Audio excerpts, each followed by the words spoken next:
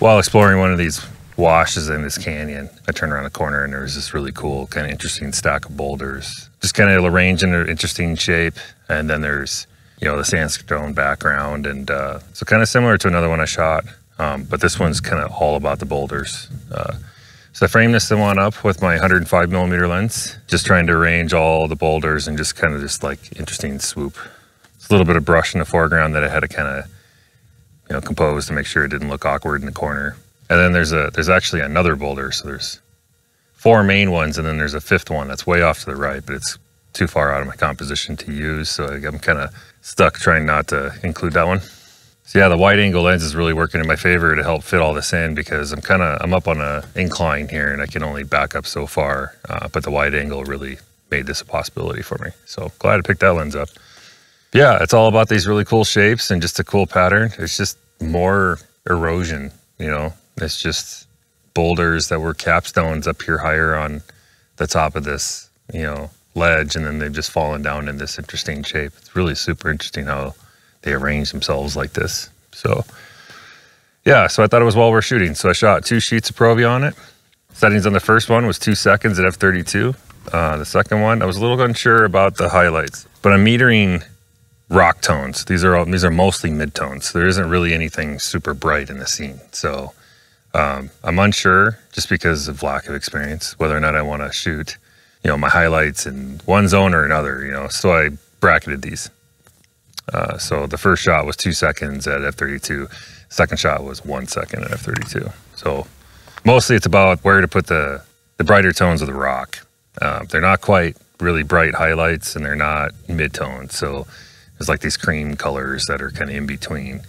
So I'm inclined to put them in zone six, but that pushes all my shadows way into the blacks. Um, I'm a little worried about that. So since I'm unsure about both uh, and I wanted to shoot doubles anyway, I just decided to bracket it. So one at uh, one second, one at two seconds.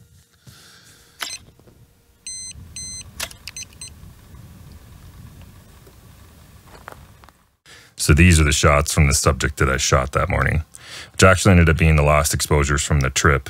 Some interesting things with this one. Uh, the darker exposure turned out way better. This is this is pretty overexposed.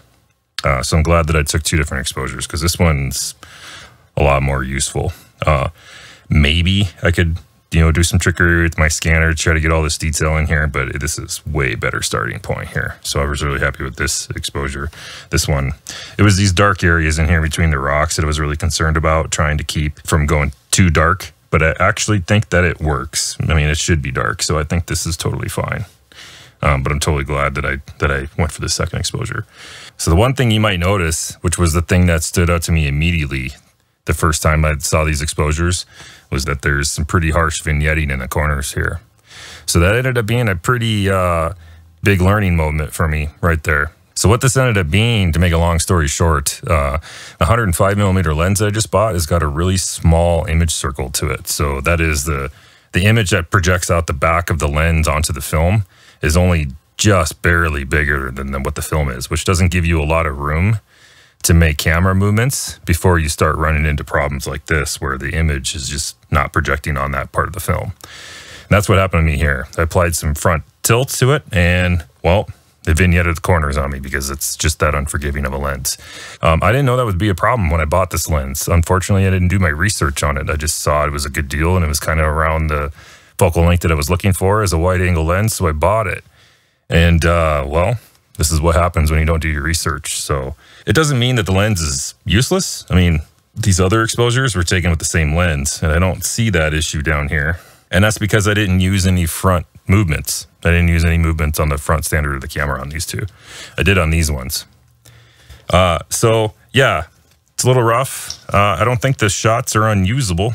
It's pretty dark in the very corners here, but you don't have crop in just a tad anyway. Um, and I'll and I'll dodge it to brighten it up a little bit and try to recover that. I also have the sky peeking through on this one just a little bit, which is funny because I don't so much on this one. I imagine that's just because the shit the, where the film was shifted in the film holder a little bit, just a little bit of discrepancies, but that'll get cropped off, so I'm not worried about that. So three out of the four corners have got problems. That's uh that's not a very good batting average. So uh, yeah, mind your corners, pay attention. So what's probably going to happen, in all honesty, um, is I'm probably just going to end up replacing that lens. Uh, I don't know yet if I'll get rid of it, or but I'll for sure at least uh, get another one. Uh, probably something more like a 90 millimeter, kind of like I probably should have to begin with. At least I found out like this instead of something that completely, absolutely ruined the shot. Um, but now I for sure know to be looking for this on that lens. So.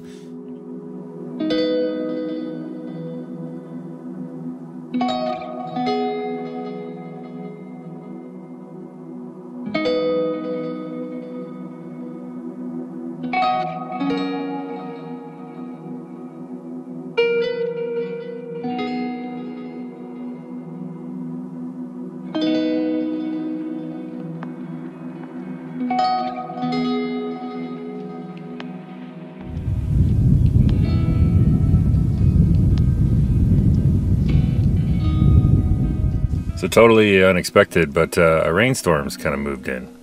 Hasn't actually started downpouring yet, but uh, I see some lightning strikes that are real close. The whole northern sky just got dark. It's about one o'clock now. I spent the late morning and early part of this afternoon um, exploring nearby mountain range. Ended up getting a little hairier than I expected. Uh, it's pretty chunky, rocky stuff, and a lot of you know sandstone rock steps and stuff. Uh, so it ate up some time it was cool to see, but I didn't really see any potential places I wanted to photograph um, in particular. So I ran back town, got some gas, and now I'm kind of debating what I want to do because pretty much everywhere I've been working is uh, looks like it's going to get hit by some rain, and some of the areas I've been in, it's not ideal. Uh, there's a lot of bentonite clay and a lot of you know dusty roads and stuff that could turn into some pretty you know gnarly terrain if we get actually rained on with any measurable amount. You can imagine wet clay, even with four wheel drive. No, no, no.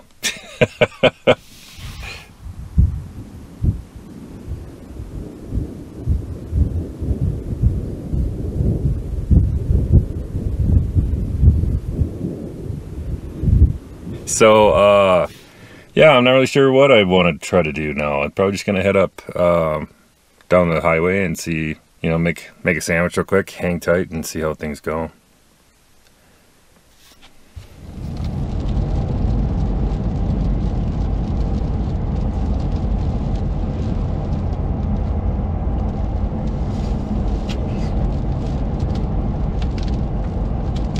So that was it for the trip.